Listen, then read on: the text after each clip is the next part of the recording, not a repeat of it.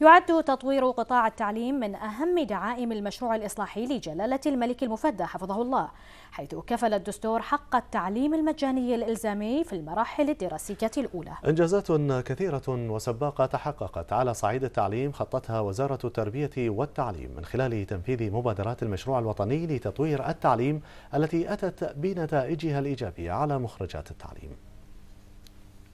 عهد زاهر نعيشه اليوم ونقطف ثماره. عهد جاء به جلالة الملك المفدى حفظه الله لتسير على هداه خطط التنمية الشاملة. ومن بوابة التعليم فإن وزارة التربية والتعليم دأبت على الدفع بمسيرة التعليم بما يواكب المشروع الإصلاحي لجلالة الملك المفدى فحققت العديد من الإنجازات من خلال مبادرات المشروع الوطني لتطوير التعليم التي أتت بنتائجها الإيجابية على مخرجات التعليم في البحرين. وها هي الوزارة في صدد إطلاق مشروعها الوطني الجديد وهو مشروع المنهج الوطني.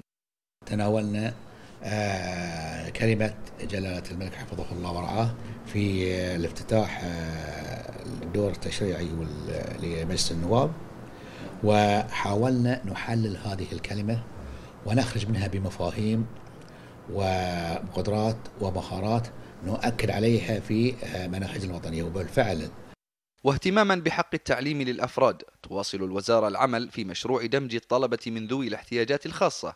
كان آخرها دمج الطلبة الصم في المدارس الثانوية.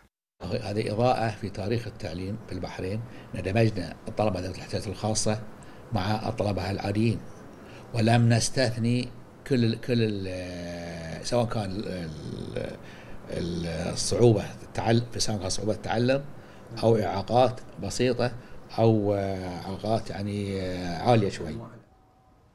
وبموازاة ذلك فإن المشروع الوطني لتطوير التعليم قدم العديد من المبادرات في سبيل الارتقاء بالكادر التعليمي ولعل من أهمها هو إنشاء كلية متخصصة لإعداد وتدريب المعلمين. فإنشاء كلية البحرين للمعلمين ساعدوا بشكل كبير في إمداد النظام التعليمي بالكوادر البحرينية المتميزة من خلال التزام الوزارة بتوظيف جميع خريجيها. الكلية تلعب دور بارز في آه، بحرنة الوظائف التعليمية. آه، نحن في وزارة التربية والتعليم حققنا مستويات عالية جدا من بحرنة الوظائف في الإناث. آه، مستويات فاقت التسعين في المئة وقاربت المئة في المئة في كثير من المدارس. والآن هناك تركيز أيضا على مدارس الذكور. وباعتبار كلية المعلمين أحد الروافد الأساسية للتعيين على وظائف التعليمية في وزارة التربية والتعليم آه، فإن يعني خريجين هذه الكلية تم توظيفهم آه، بشكل كلي. جهود مستمرة من الوزارة لجعل ركب التعليم ومخرجاته على مستوى التقدم الحضاري الذي تشهده المملكة. استراتيجية وطنية متكاملة كفيلة بتلبية كل ما يتطلبه سوق العمل وبما يتماشى مع الرؤية الاقتصادية وبما يظهر مستقبل البحرين على درجة عالية من الرقي. بسام نبدوي لمركز الأخبار تلفزيون البحرين.